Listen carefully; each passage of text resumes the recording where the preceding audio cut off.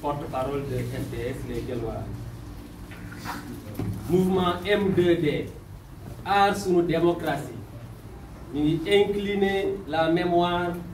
ci ñi ñuy woowee les martyrs de la démocratie muy ndaw yi nga xam ni ñàkk nañ seen bakkan ci manifestation yii ñu jugee Sénégal M2D ñu ngi jaale njabootu ñépp ñi nga xam ne ñàkk nañ ci seen bakkan waaye tamit di jaale bépp sénégalais di leen ñaan ku ko ci man ñu ànd ak ñi nga xam ne ñàkk nañ seen bakkan ba ñu denc leen seen kër gu mujj m mi ngi woote benn journée de deuil national ci ajjuma fukki fan ak ñaar ci weeru mars pour ñaan fii ci Sénégal ak ci bitim réew pour que ñi nga xam ne ñàkk nañ seen bakkan ci manifestation yi yàlla xare leen aljana ci loolu M2D mi ngi woote bépp sénégalais ci bis boobu ma koy fàttali muy vendredi 12 mars ñu sol ay yére yu weex waaye tam sol ay fulaar yu weex ñu def ko ci biir kër yi def ko ci oto yi def ko fépp ci Sénégal ak ci bitim réew M2D mi ngi yëgal sénégalais yi dinañ organiser tamit benn téléthon boo xam ne liñ ci jubli mooy luñ ci am ci alal ñu mën a jàppale ñi nga xam ni am nañ ay gaañu gaañu yu métti ci manifestation yi te nekk ci ay hôpitaux fii ci Sénégal ak famille victime ñi nga xam ne également ñàkk nañ seen bakkan m 2 aussi mi ngi constaté que ni répression bi nga xam ni nguuru Macky Sall moo ko def jëmale ko ci ay manifestation ay manifestants yoo xam ne amuñu benn ngàndaay bu fukki bakkan ak benn rocci ba juróomi téeméer ak juróom-ñeent fukki sénégalais également am ci ay gaañu gaañu yu métti loolu tamit ñu ngi koy ñaawlu bu baax a baax di wax ni ba léegi am na ñoo xam ni nguuru Macky Sall mi ngi wéy di leen traqué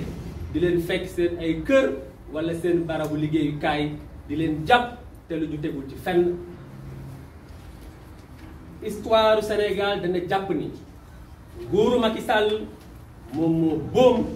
ay sénégalais yoo xam ne benn ngànnaay yooyu ñu ko ay innocent victime lépp lu ci am nag si jàngat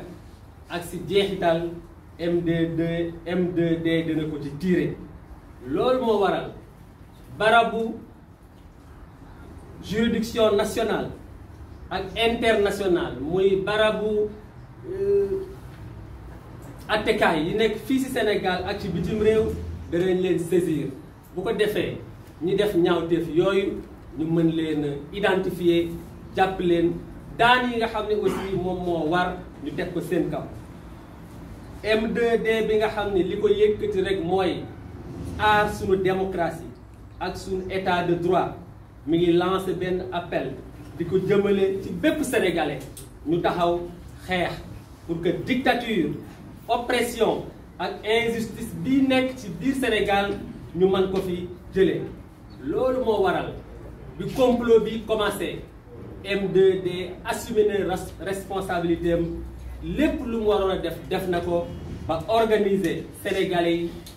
ànd ak ñoom ci xeex bi ba tey moom moo jur ñu bàyyi kii di Ousmane Sonko m de nag dégg na appel yi nga xam ne mi ngi jugee ci ay kilifa diine ak ci ay kilifa aada loolu moo waral manifestation yi ñu waroon a amal talaata 9 ak àllarba 10 mars ñu dàq ko ba beneen yoon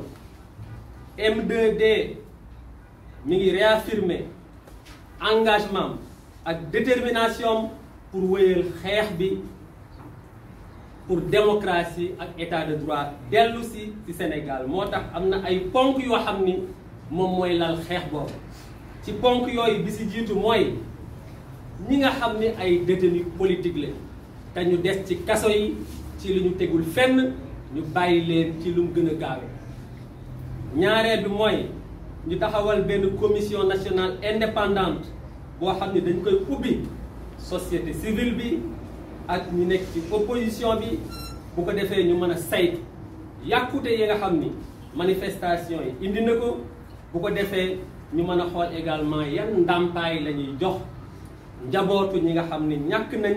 seen bakkan ci manifestation yooyu ñetteelu ponk bi mooy ñu ubbi benn enquête bu ko defee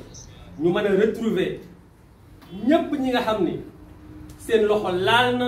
ci ñaawteef yooyu moo xam ay takk der la wala wëyu bandi yi nga xam ni ay nervi lañ te nguur gi recruter leen bu ko defee képp koo xam ni sa loxo laal na ci ñu mën leen a juger teg leen daan yi war m fan yii ñu ñëw dana génn benn këyit muy benn mémorandum boo xam ni ñu ngi ci tënk fukki poñ poñ yooyu moom mooy wax perspective yi nga xam ni moom la ñuy jox combat bi ñu nekk m 2 mi ngi woo peuple sénégalais ci benn rassemblement pacifique bu ñuy amal à la place de la nation muy place de l'Obélisque samedi bii du 13 mars 2021 bu 15 heures jotee rassemblement boobu nag lenn moo ko yëkkati mooy ñi nga xam ni nguuru Macky Sall mi ngi leen tëye ci kaso yi te lu ñu tegul fenn ñu bàyyi leen ñu dellu seeni kër dellu si seen ay njaboot matukaay yi nga xam ne waroon nañ ko jël te constitution bi may ñu ko matukaay yi yëpp jël nañ ko li ci des mooy gouvernement bi préfet bi góorgóorlu ba encadrer manifestation bi bu ko defee benn jafe-jafe du ci am rassemblement yooyu dana am place de la nation waaye tamit dana am ci biir réew mi ak ci bitim réew ñu ngi woo képp kuy ñëw ci manifestation yooyu nga indi drapeau national jërëjëf